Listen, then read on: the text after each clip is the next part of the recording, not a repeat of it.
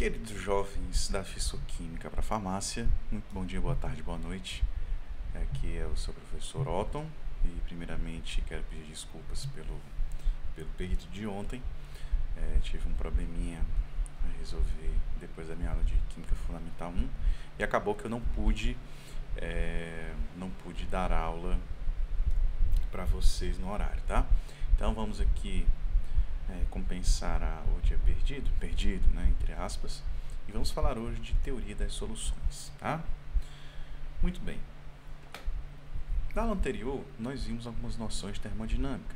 Nós vimos que significava calor e trabalho, nós vimos que isso pode ser convertido não somente por conta do estudo dos modelos dos gases, mas também podemos, podemos aplicar os conceitos de termodinâmica nas reações químicas. E essas quantidades tomam forma de entalpia, entropia e energia de Gibbs.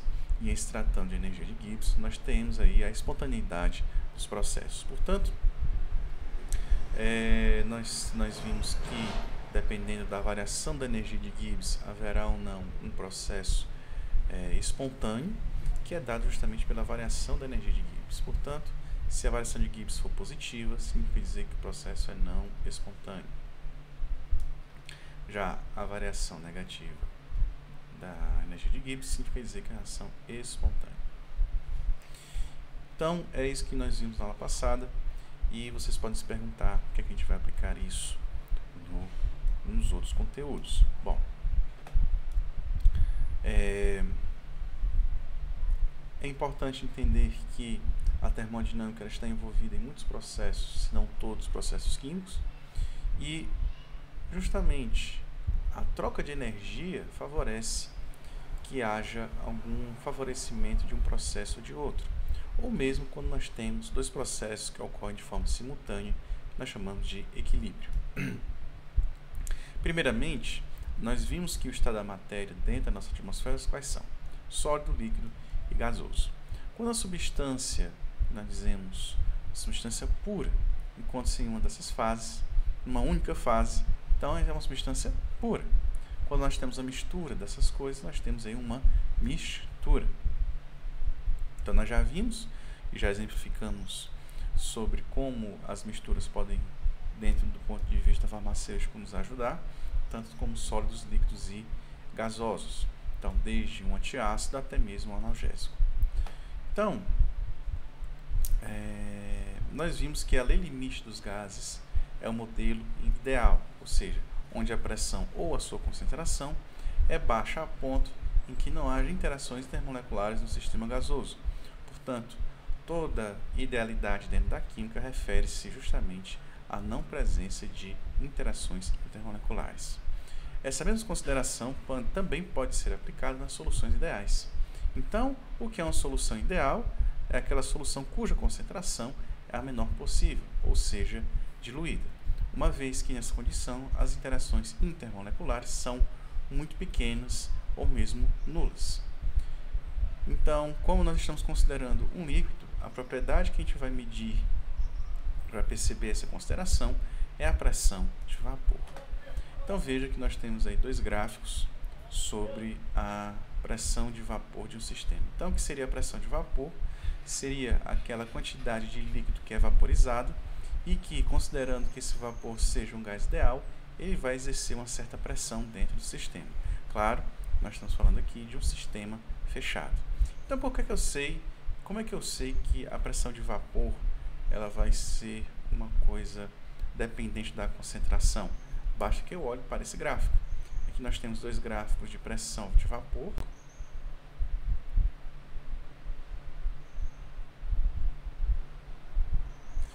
E aqui nós temos a de, no eixo X, a composição da mistura em termos de fração molar.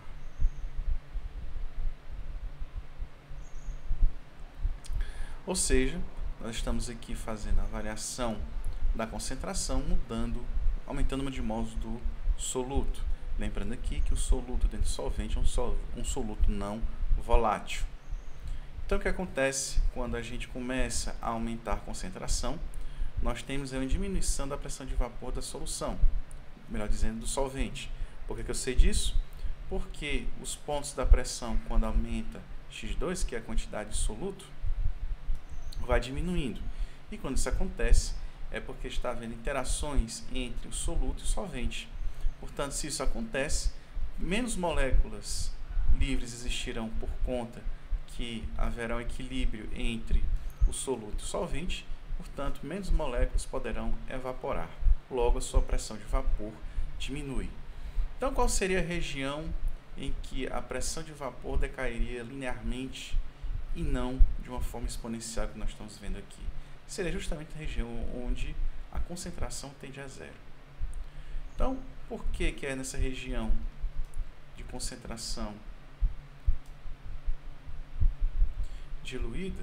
Por que, que isso acontece aí? Porque justamente quando nós temos uma, uma descida linear da pressão de vapor, é porque a gente consegue reverter esse processo.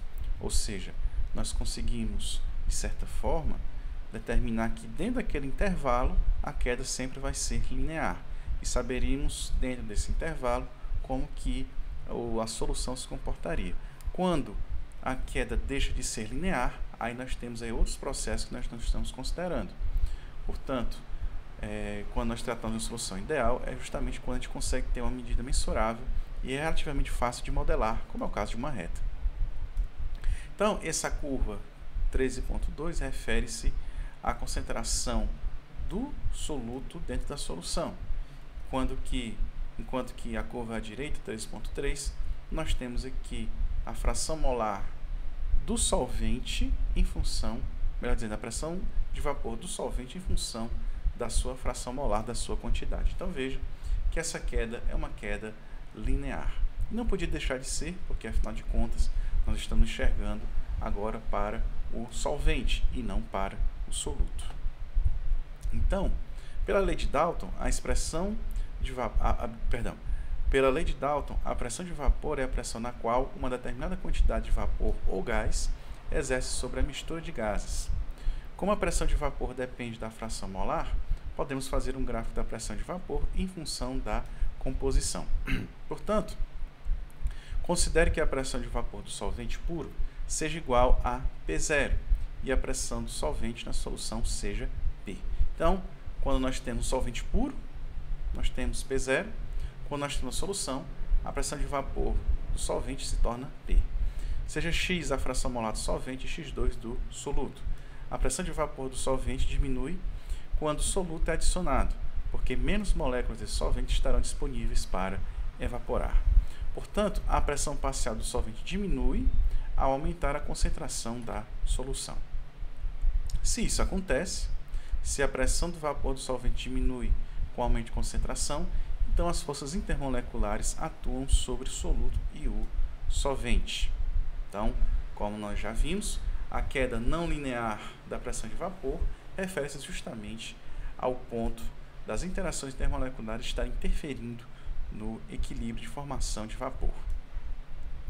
Então, para que tenhamos uma solução ideal, precisamos que a concentração seja a menor possível, de modo que a pressão de vapor diminua linearmente com a fração molar.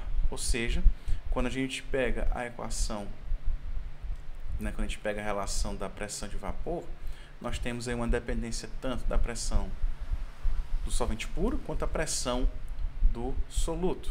Então, o que nós temos, afinal de contas, é que a pressão do solvente puro corresponde à pressão da solução mais a pressão do solvente quando se adiciona é, soluto.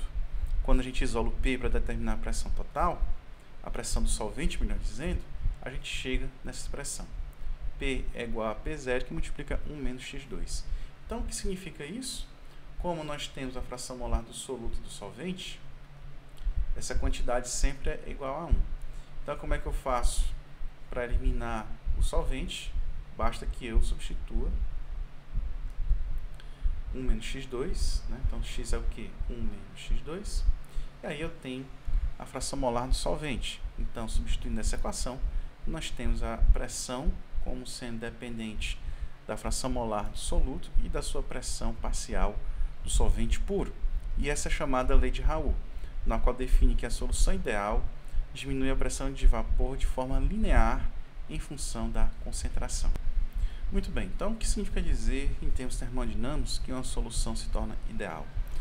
Como nós não temos interações termomoleculares, o termo termodinâmico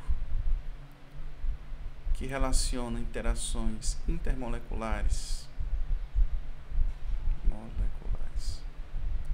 Nesse sentido, é justamente a entalpia. Lembra que eu falei para vocês que a entalpia é justamente a quantidade de energia disponível para que alguma ação ocorra. E que a ação é essa? É justamente as interações intermoleculares, então ligações de hidrogênio, de polo induzido, de polo permanente e assim por diante. Numa solução ideal, nós temos que a variação de entalpia ela é nula, ou seja, quando eu dissolvo um soluto no solvente, eu não percebo nenhuma variação de calor, eu não sinto nem esfriando e nem esquentando. Quer dizer que nós temos uma solução ideal e o ΔH de uma solução ideal é igual a zero. Então, na, na equação de Gibbs, a variação de energia que existe na solvatação de um sistema é dada pura e simplesmente pela entropia entre soluto e solvente. Então, aqui no ponto de vista termodinâmico, nós temos uma questão de desordem que causará um, uma espontaneidade do processo. Se em soluções ideais nós temos que a entalpia é nula, então necessariamente soluções reais possuem entalpia de solvatação diferente de zero. Então, relembrando o gráfico que nós mostramos anteriormente, essa aqui é a região ideal